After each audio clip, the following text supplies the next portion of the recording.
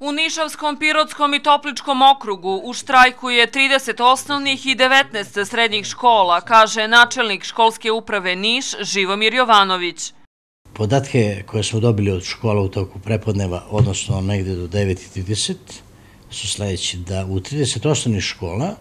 i 19 srednjih škola nastava je skraćena na 30 minuta. To je ukupno 49 škola ali po onome kako su nas direktori obaveštavali, deo nastavnika je nastavu skratio na 30 minuta, a deo nastavnika radi 45 minuta. Znači, u odnosu na podatke koje smo imali pre, u toku prošle nedelje, taj broj škola je smanjen za 12. Za sada još nije poznato kako će se i kada nadoknaditi izgubljeni časovi, ni da li će biti preduzete mere protiv prosvetara koji štrajkuju o konsekvencama, odnosno nekim represivnim merama, jer i takvo je pitanje bilo postavljeno meni, niko nije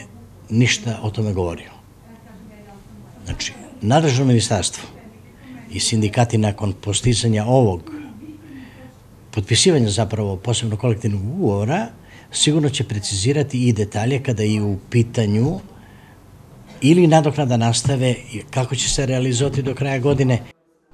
Unija sindikata prosvetnih radnika Srbije i sindikat radnika u prosveti ranije su odlučili da nastave štrajk i ne potpišu poseban kolektivni ugovor i sporazum o rešavanju spornih pitanja u prosveti, zato što ne postoje čvrste garancije da će dogovoreno biti i ispunjeno, odnosno nemaju garancije za prvi štrajkački zahtev, kada će novac biti isplaćen i koliki će iznos dobiti.